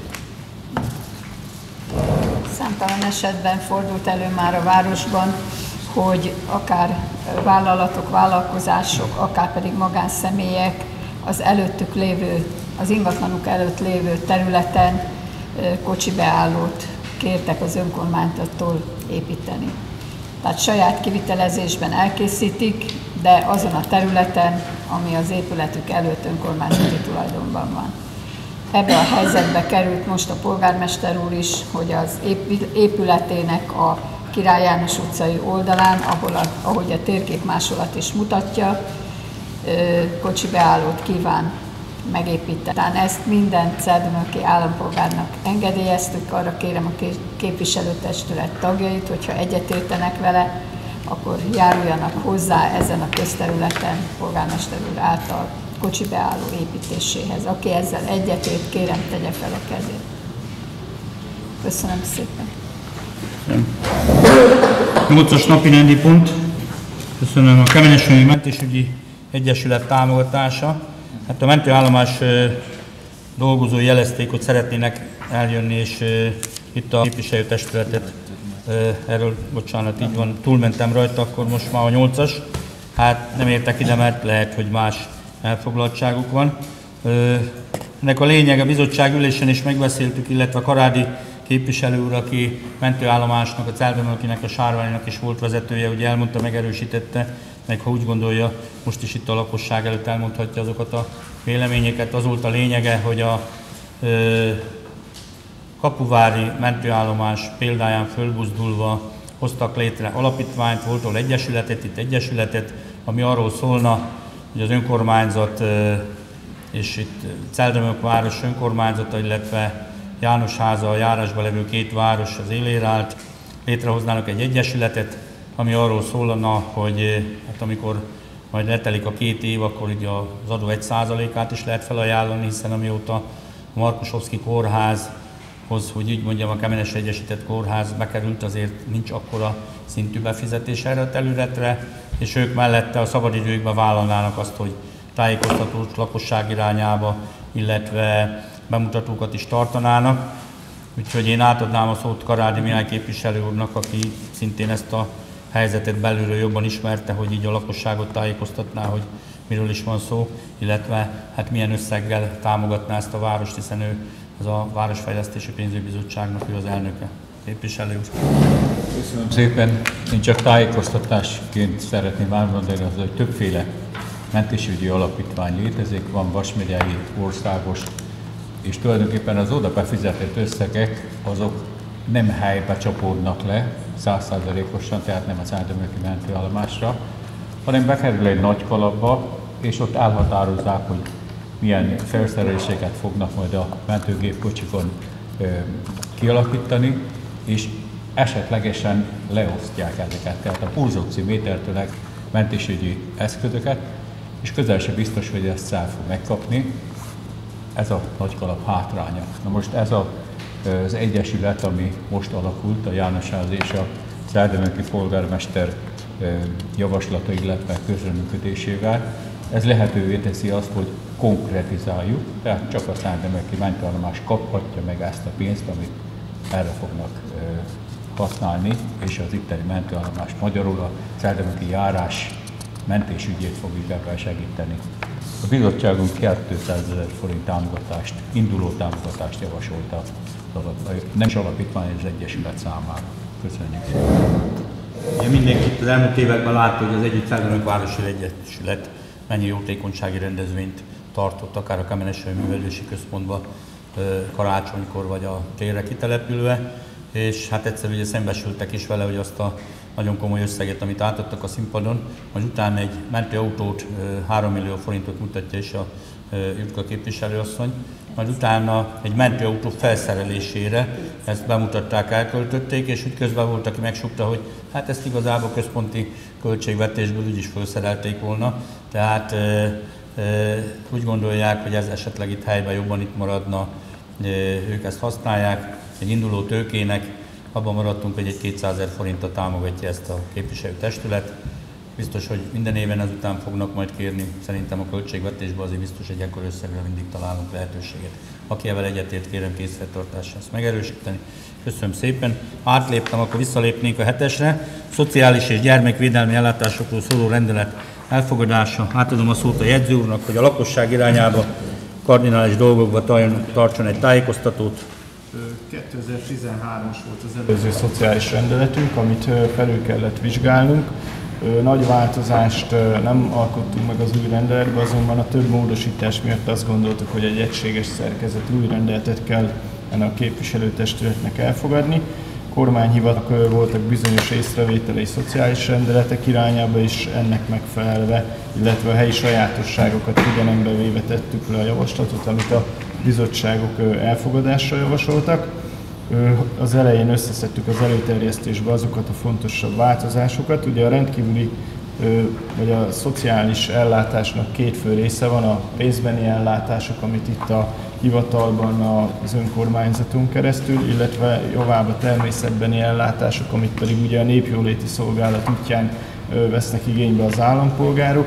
Van a rendkívüli települési támogatás, ami jövedelemhatár figyelembevételével kerül megállapításra, ugye olyan személyeknek, akik saját jövedelmükből, itt alacsony jövedelemről van szó, nem tudják a megélhetésüket biztosítani. Itt lett benne egy plusz kitétel, ami szerint aki egészséges, illetve munkára alkalmas, tehát az egészségi állapota nem indokolja, illetve kora, ő neki a Városgondnokság útján egy foglalkoztatási lehetőséget ajánlanunk fel első körben, és így hozzájuttatnánk ahhoz a jövedelemhez, ami amit segélyként adható. Ha ezt nem vállalja, akkor igazából segélyben sem tud részesülni. Természetesen, aki beteg vagy idős, az ezek, ez a kiegészítő szabály nem hatáshoz nyújt még, szintén támogatást a rendszeres kiadáshoz a képviselőtestület. Itt pedig azt kell tudni, hogy figyeljük az egyfőre eső jövedelmet, illetve ennek függvényében kerül megállapításra egy összeg, ami konkrétan a lakások kiadásához, tehát a bérleti díjhoz, vízdíjhoz, áram, illetve gázdíjhoz szolgáltatóhoz kerül átutalásra. Ami változott a szociális étkeztetés, itt elég sok kihasználták azt a lehetőséget, hogy krónikus betegségre hivatkozással igénybe vették az ellátást. Ugye ez a az 560 forintos étkezés, az 50 forintos kiszállítással azért most már majdnem egyharmada a piaci áru étkeztetésnek, és mivel ez a krónikus betegség elég nagy mértékben lehetőséget adott, ennek a pontosítására került sor a rendeletbe, tehát aki egyéb módon ugye az étkeztetését nem tudja megoldani, és ezt a háziorvos igazolja, ő tudja megkapni, illetve a házhoz szállítást is csak az a személy kérheti, aki a lakóház elhagyására az adott pillanatban nem képes. Tehát nem az van, hogy nem érek rá elmenni érte, aztán még akkor hozzátok is ki, hanem, hanem valóban egy nagyobb szűrő kerül beépítésre. A rendelet szabályozza a szünidei gyermekétkeztetést, amit az önkormányzata halmozott a hátrányos, hátrányos helyzetű, illetve a hátrányos helyzetű gyermekek számára a nyári szünet teljes időtartamára felvállal. Itt ugye elég ö, ö, szigorúak a feltételek ezeknél a megállapításoknál, és azt gondolta a testület, hogy ezt mindenféleképpen a teljes nyári szünet idejére biztosítja a gyermekek részére. Rendeletből korábban volt ez a buszbérlet támogatás, ugye itt azt javasoltuk, hogy a pályázati kiírás függvényében, hogy hogy sikerül kiválasztani a közszolgáltatót, kerüljön újra gondolásra, hogy egyelőre ezt a buszbérletet nem javasoljuk, illetve gyógyszerköltségekhez is volt hozzájárulás, az minimális számba volt az igénybevevők száma, itt azt javasoljuk, hogy ez a rendkívüli település támogatás körébe adható ellátásként kerüljön inkább nyújtásra, és így ugyanúgy lehet adni a támogatást. Kérdések, vélemények? Bizottságok megtárgyalták, elfogadásra javasolták, alsósági részünk kormányzat, illetve humán szolgáltatások, pénzügybizottság, aki egyetért vele, kérem készfeltartásra megerősíteni. Köszönöm szépen. Ö, lassan át fogunk térni az átülésre. Úgy gondolom, hogy aki figyeli a világhálót, az látja azt, hogy hát épp a kitüntetett képviselőasszony is délután részt vett ebbe, illetve a Kovács doktor úr, hogy kicsit megint felpörög az oltás. Arról szól, hogy ha 5,5 milliót eléri Magyarország, akkor milyen szintű enyhítések lesznek, ami ez fogja érinteni innétől kezdve könyvtár, kultúrház, vulkánpark, fürdő, ami azt jelenti, hogy igazolvány nélkül, vagy akik nem oltanak, úgy értelmezem, hogy azok is mehetnek ugye ezekbe az intézményekbe. Úgyhogy figyeljék a médiát. Egy dolog biztos, hogy itt, amit elmondott a tábornok úr, hogy biztos, hogy ennek lesz valamilyen csengése majd ősszel, mert most már vannak olyan vélemények is, hogy még plusz egy-két millió embert le kéne oltani, és akkor is mi lenne, vagy valamelyik már a harmadik oltás kell. Tehát mindenki tapogatózik, de mégiscsak úgy gondolom, hogy az embereknek van igényük azért, hogy kimozduljanak, vagy elmenjenek, szórakozzanak, hogy ezeket figyeljék, és jövő hétvégén viszont lesz Zsákfán 10-én a falunap, úgyhogy Pálné Horváth Mária, hogyha kifáradna a mikrofonhoz, és esetleg így dióhéjba elmondanád a, a zsákfai programokat, utána pesek a fürdőigazgatót kérném meg, hogy mondja el, hogy azért milyen fajta jegyek, szolgáltatások, celéeknek, hogyha tényleg ez fölpörög. Én mindig azt szoktam mondani a Gábor, hogy meg a vulkánparkban is, hogy még többen jönnek, ha nem kéne nekik ugye felmutatni ezt az igazolványt vagy a kártyát, hogy erről akár mind a két intézmény vezető szeretne valami tájékoztatást tartani a, a lakosság felé, akkor megköszönném. Úgyhogy igazgatóasszony, parancsolja. Köszönöm szépen. Tisztelt képviselőtestület, tisztelt tévénézők! Az elmúlt hónapokban sikeresen megvalósítottuk, legalábbis én úgy érzem, a különböző lakókörzeti rendezvényeket, így az alsósági tavaszi napokat, majd a dömölki napokat, és most pedig tizedikén az Izsákfai falunap kerül sorra. Ezen a délutánon is szeretettel várjuk nem csak az izsákfaiakat, hanem természetesen a város lakosságát, illetve a vendégeket. Délután három órakor kezdődik a program gyerekprogrammal, a tündérker daloló gyerekeket, majd vásári komédiák, bohózatok következnek a kőszegi kaszt előadásában, utána pedig fiatal, tehetséges énekesek szórakoztatják a közönséget, ma csak csajok formáció lép színpadra, ezt követően pedig nosztalgia zene lesz az idősebb korosztály számára, este 10 óráig szólnak a program, délután 5 órakor lesz egy falunapi foci meccs, pónizás, vidámpark, szabadtéri játékok várják a gyerekeket, fiatalokat, illetve természetesen Izsákvára is megérkezik a, a Celdömölki szétpillantó a kisvonat, és szállítja majd a vendégeket, a részönkormányzat pedig megvendégeli majd a programon résztvevőket, így gulyás és pogácsa kóstoló lesz, és ennek a megvalósításában pedig a Városi Óvoda van segítségünkre. Szeretettel várunk mindenkit erre a programra, majd augusztusban pedig a Kemencés Fesztivál fog következni, amire szintén várjuk majd a közönséget. A helyi médiákon keresztül fogjuk propagálni a rendezvényeket, lesznek kisebb lokális programjaink is, zenei programok, az intézmény terasszán, illetve a közten, amire megvárjuk majd a közönségünket. akkor másabb Akkor, lesz, ugye? hát igen, így is lehet már a moziba járni, de azért a látogatói létszám az biztos, hogy meg fog emelkedni, hogyha nem kell már az igazolványt bemutatni. A szabadtéri mozi majd augusztusban lesz a piknik mozi, én úgy, úgy tudom, hogy akkor lesz majd a szabadtéri mozi. Köszönjük szépen. Söptei Valéria képviselőasszony elmondott mindent, ugye az intézményvezető. Szeretné valami kiegészítést? Igen? Szeretettel várjuk, várunk mindenkit az, az, Izsátlai falunapra, és ö, reméljük, hogy mindenki jól érzi majd magát. Ők is eltestett tagjai szeretettel. És jó időnek kell lenni. Hát nagyon megrendeltük a jó Beszélj az orsós. Gábor, szeretné a fürdőre invitálni a celieket, meg milyen feltétellel, ha elmondanád, utána pedig a vulkánpark igazgató hölgye.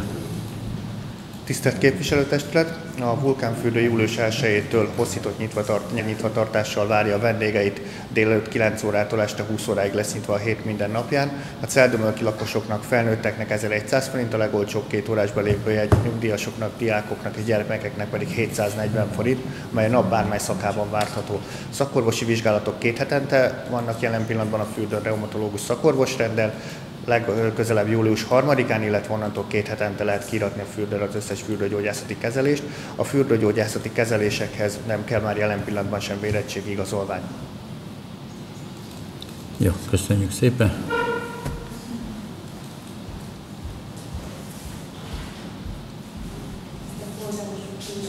jelenlévők. Ezt is szeretném megköszönni azokat a fejlesztéseket, amelyeket terveznek a vulkánpark köré és az ehhez mérten a strukturális átalakításokat. Május 1 nyitott a vulkánpark.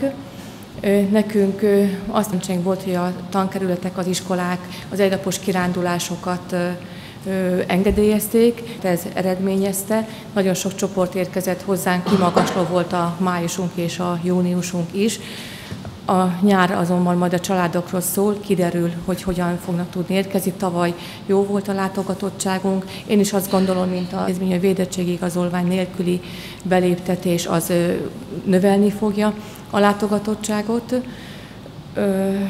Bízunk benne, hogy mindent meg fogunk tudni tenni annak érdekében, hogy ennek eleget tudjunk tenni. Hozzátenném még azt, hogy a Celdömölki iskolákkal, óvodákkal is nagyon jó kapcsolatot ápoltunk továbbra is, úgyhogy a Celdömölki gyerekek is szinte mindegyik intézményből kint volt a tavasszal nálunk. Köszönöm szépen. Köszönöm szépen. Intézményvezetők irányába valakinek kérdése, észrevétel, vélemény. Akkor átadom a szót a jegyző úrnak, elmondja, mikor lesz szőnyöggyérítés Celdömölkön. A katasztrófa védelem tájékoztatta a várost július 1-én, azaz holnap, ugye csütörtöki napon, a napnyugta utáni órában lesz szúnyoggyérítés, földi ö, szúnyoggyérítés lesz, ami azt jelenti, hogy ugye egy ilyen autó megy körbe, és ö, csekély hatóanyagú ö, mérget permetez, ami igazából azt írják, hogy állatokra, emberre nem veszélyes, illetve csak az érzékenyebb rovarokat pusztítja el érzékenyebb, érzékenyebb rovarokat el, melegvérű állatokra, emberre nem veszélyes hatóanyaga néhány óra alatt lebomlik. Jó, tehát erre szeretnénk a méhészeket ugye hivatalból ki kellett értesíteni, a város lakosságát, hogy azért az olyan tárgyakat, dolgokat takarják le, illetve vigyék be, amik az udvaron találhatók. Hogyha rossz idő lesz, akkor ez július másodikán vagy harmadikán fog megtörténni. Hát nem nagyon akarják engedni, hogy repülőről szólják, már állítólag az mégis veszélyes. De az a hatásosabb, ez gyengébb, de nem olyan káros. Közben elhangzott, hogy nem káros. Tehát a falusi ember azt mondta, majd a hideg elviszi a szúnyogot, most meg a mérget nyomják lefelé. Délelőtt a Soproni hulladékgazdálkodástól fölhívtak, és azt ígérték, hogy elküldik Kocsis Orsinak a ügyintézőnek, hogy három időpontot jelölnének meg lomtalanítást. Nem tudom, Orsi megkapta de az e-mailt, hogyha esetleg tartaná róla egy tájékoztatást. A... Nekem is van. Megvan. Ugye a október hónapban terveznék, ugyanúgy szombatonként.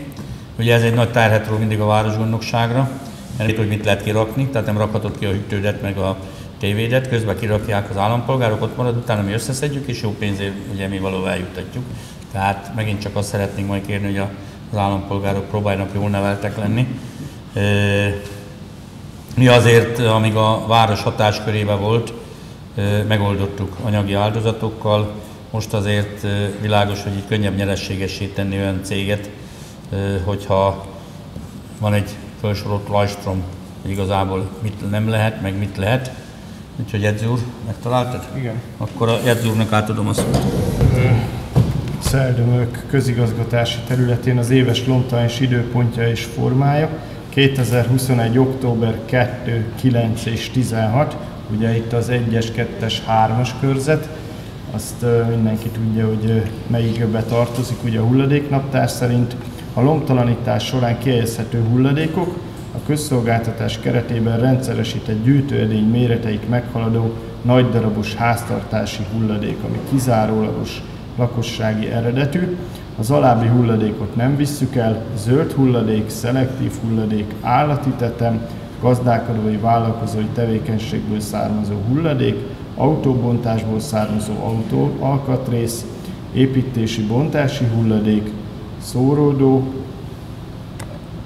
zsákos hulladék, személyteher, traktor, gumiabroncs, veszélyes hulladék, például vegyi anyaggal szennyezett göngyölek, permetezőszermaradék, festék, festékes göngyeleg, akkumulátor, neoncső, azbesz, gyógyszer, fáradt olaj, elektronikai hulladék, fémhulladék és kézi erővel nem rakodható túlsúlyos vagy túlméretes hulladék. Tehát igazából itt bizonyos...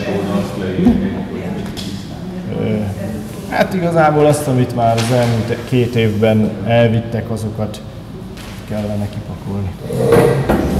Ugye, amiben itt föl van sorolva, akkor megkérdezi az állampolgár, hogy nekem milyen képződik, akkor hova tegyem, akkor jön az önkormányzat, az önkormányzat összeszedi, és utána a városgondokság vezetője felveszi erre a szakosodott cégekkel a kapcsolatot, és akkor jön egy előterjesztés, hogy x millió forintot erre áldozunk, hogy autógumik, ilyeneket összeszednek, elvisznek, tévét, hűtőt, meg ezeket a fajta dolgokat. Tehát papír, műanyagok, butorok, ágyak, amit megmondtak az emberek, és ebben még ugye az a csapda, hogy le van írva, hogy hány fő van a városban. A három övezet majd meg fog jelenni a Kemenesalja újságba, hogy mikor úgyhogy ezt kérem a, a sajtóképviselőit, hogy ebbe vegyék fel a kapcsolatot az orsékkal, és hogy ez jelenjen meg többször is az időpontok, meg az övezetek, melyik ugye három időpontra van felosztva a város, úgyhogy a jegyző úr majd fogja mondani a, második utáni következő szombatokat, és ennek van egy súly összege, és ha ezt összeszedik, lemérik, ha ennél több lesz, akkor azt még pluszba a városra kivizettetik. Úgyhogy körülbelül ide jutottunk, tudomásul kell vennünk, hogy ez van, és akkor a jegyző mondja az időpontokat. Azt még uh, tudni kell, hogy bizonyos mennyiségű hulladékot ebből, amit én az előbb felsoroltam, például gumiabrancsot, hűtőt vagy ilyesmit, a hulladék átrakón uh, átveszi, tehát zöld udvarként működik, oda ki lehet venni, be kell egy csekket, és megvan a, a az SPK honlapján is, hogy egy évben milyen mennyiséget vesznek át ebből térítésmentesen a lakosságnak is. Ugye itt az a probléma, hogy ki kell vinni, de azért valamilyen megoldás van rá.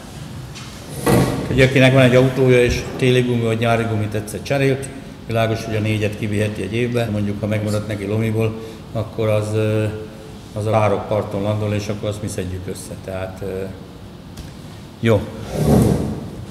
Van-e valakinek kérdése, véleménye, akkor várhatóan a képviselőtestület jövő hónapban a tömegközlekedés miatt találkozunk egy munkaértekezleten, illetve hát a soros képviselőtestület ülésünk pedig augusztus végén vagy szeptember elején lenne.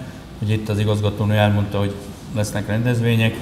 Az Imbicki Dóra is be tud számolni arról, hogyha fejből lehetünk egy pályázatot, amit az elkövetkezendő két évben közterületeken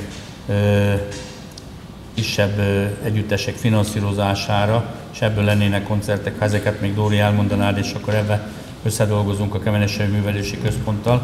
Hogyha kifáradnál a mikrofonhoz, akkor megköszönném, hogy mekkora hány előadásra szeretnénk Izsákfán alsóságon, illetve Celdömökön ezeket megtartani, úgyhogy azért közben vannak sikerélményeink is. Köszöntöm a képviselőtestületet.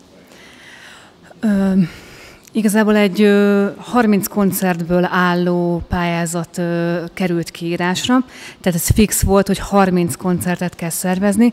Erre 7,5 millió forint támogatást biztosítottak összegben az Emberi Erőforrás Minisztériumból, és a magyar filharmonikusokkal kellett egy együttműködési szerződést kötnünk ez ügyben. Ők szakmai felügyeletet értek csak, tehát ők nem mondják meg, hogy mely együtteseket hívhatjuk meg. Annyiban korlátozzák a dolgot, hogy Ebben a 30 koncertben minimum 5 különböző együttesnek kell lenni, és ugye ö, annak megfelelően kell ö, annyi számú koncertet egy-egy együttesnek ö, teljesítenie. Ö, beírásra, illetve Izsákfán ö, még alsóságon még plusz kettő ö, igazából ezekre különböző időpontokban ö, keresünk, ö, különböző időpontokat már keresünk, ö, akár ö, nagy rendezvényeknek kísérőjeként, akár a piknik mozi előtt egy kis ráhangoló ö, zenei élményként és ö, együttműködésként ö, ö, menne tovább ez a dolog. Igazából július 1-től következő év ö, június 30-áig szól maga a megvalósítási határidő. Nem tarthatjuk, meg belépő jegyet nem szedhetünk rá, hanem a lakosság irányába, vagy a Covid után, hogy minél többen legyünk együtt, és akkor akár itt emlékeznek rá, művészekkel volt itt a Kispéter emlékparknál, vagy akár a városnak a főterén, úgyhogy ezeket megpróbáljuk akár a piactorokat, ott ilyen kisebb előadásokat tartani, hogy ezeknek majd lesz egy ilyen felhívása, és bizony benne, hogy már most nyáron őszen egy párat meg tudunk csinálni, meg akár ez télen is lehet zárt helyen, úgyhogy ez a 30 előadás azért nem is kevés, hogyha úgy vesszük, tehát ha csak azt számolnánk, hogy minden héten lenne egy, akkor is az már 37-et a nyárból, ha két nyarat megnézzük, akkor szinte minden héten tarthat. Voltak is ilyen terveink, hogy a Szent Háromság téren, a Szökőkút körül, az Új Piacnál, Kultúrház előtt, Vulkánparknál, Zsákfán a Kultúrházba meghívjuk az embereket alsóságon, úgyhogy ezeket azért próbáljuk majd szervezni, és hát azt a 7,5 millió forintot a, egy picit a technikai eszközök, illetve a fel, fellépőkre kellene elköltenünk. Mivel további jelentkezést nem látok, akkor a nyílt ülés egy 10 perc múlva az ártülésen, főleg az augusztus 20-ai kitüntetésre beérkezett személyek miatt feje, hiszen azért van egy pedagógus napra ötfő, szemmelvesz napra ötfő, illetve augusztus 20-ára ötfő, és ennél jóval több javaslat érkezett, és mindenki megérdemelni. Úgyhogy köszönöm szépen a figyelmet, akkor bezárom a testületülést.